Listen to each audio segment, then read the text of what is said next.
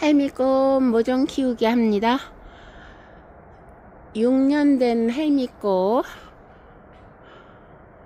모종을 하우스로다가 옮기기 전에 하우스의 땅을 고르게 펼쳐 주었습니다.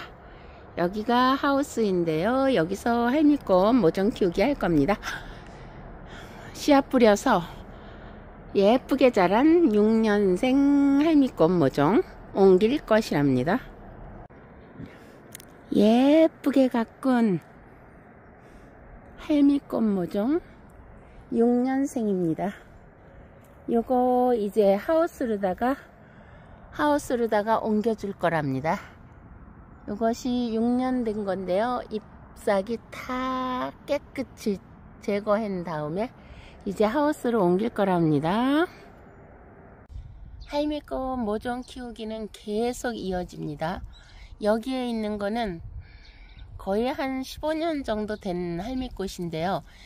이렇게 꽃대가 올라옵니다. 이게 꽃대가 이제 나중에는 한 5월달, 6월달 되면은 음, 50cm, 60cm 정도 자라면서 꽃이 핀답니다.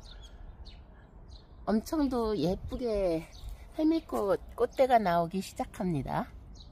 여기에 이쪽에 쭉 하우스 뒤가 쭉 할미꽃 단지예요.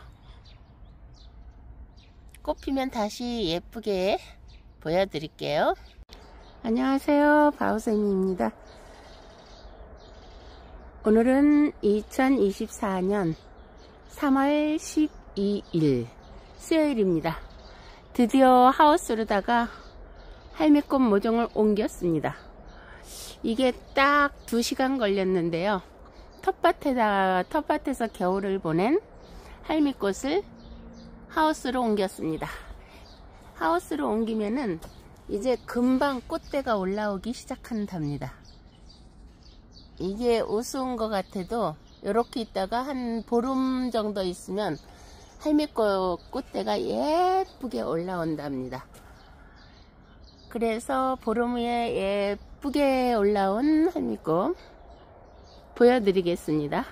이게 여기에 있는 거는 한 6년 정도 키운 건데요. 제가 9cm 포트에서 6년 정도 이렇게 키우고 있답니다.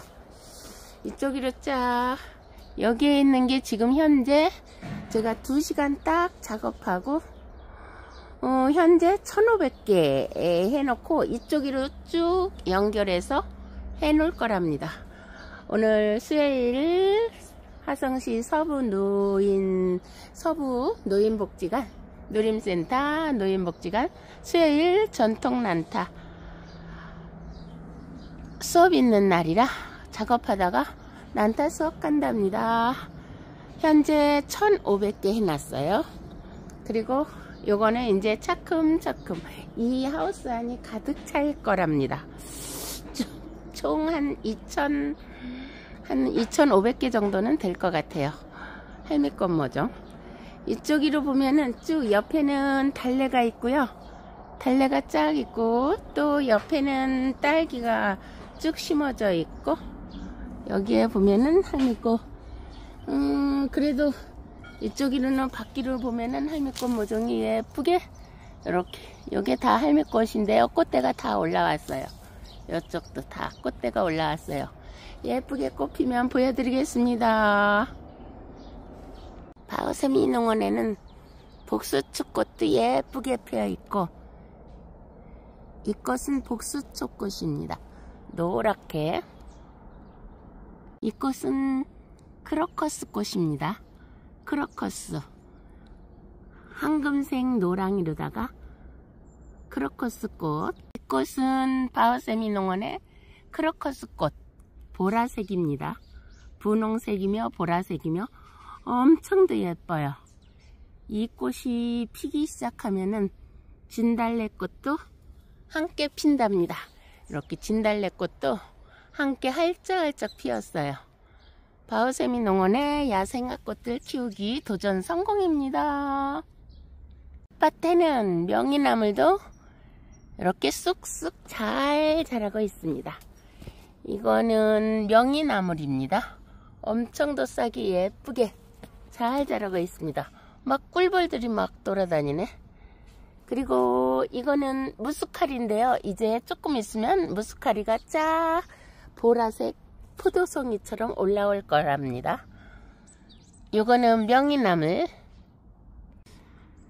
할미꽃 언덕에도 이쪽에 쭉 2,500개 정도 할미꽃을 심어놨는데 언덕에 이렇게 꽃대가 나오기 시작한답니다. 바오세미 농원의 할미꽃 키우기, 모종 키우기 영상 찍었습니다. 감사합니다. 고맙습니다. 영상 끝! 2024년 3월 12일 수요일입니다.